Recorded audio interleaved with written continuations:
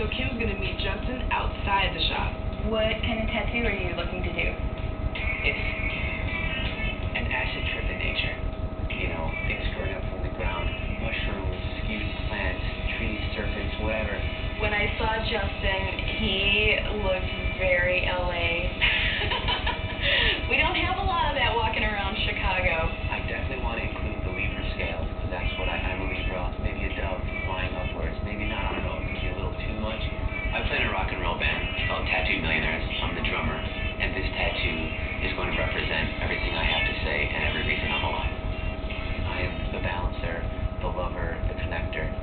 to kind of you know, capture that.